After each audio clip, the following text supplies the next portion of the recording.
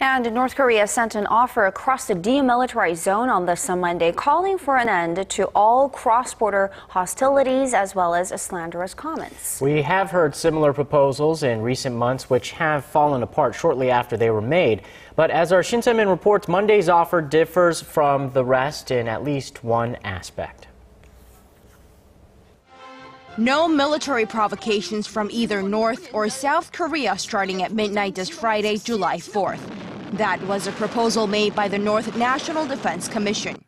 Pyongyang's top military body also called on both sides to stop slandering each other. The statement makes specific mention of South Korea's joint military drills with the United States, dubbed the Ulchi Freedom Guardian exercises, scheduled to begin this August, and calls for them to be halted while the 2014 Asian Games are taking place in the South Korean port city of Incheon.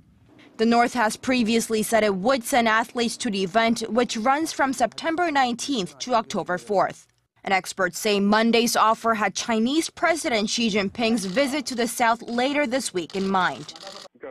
With President Xi's visit to Seoul, the North is trying to put the blame on the South for not expressing its will to ameliorate the stalled inter-Korean relationship.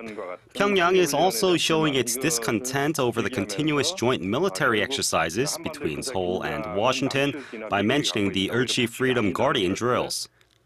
Other experts see the North offer as a conciliatory gesture, pointing out that it uses softer language than past offers of the same ilk. They also cited the timing of the proposal as it coincides with the joint communique agreed upon by the North and South on July 4, 1972, which outlined the steps for achieving a peaceful reconciliation. Shin Se-min, Arirang News.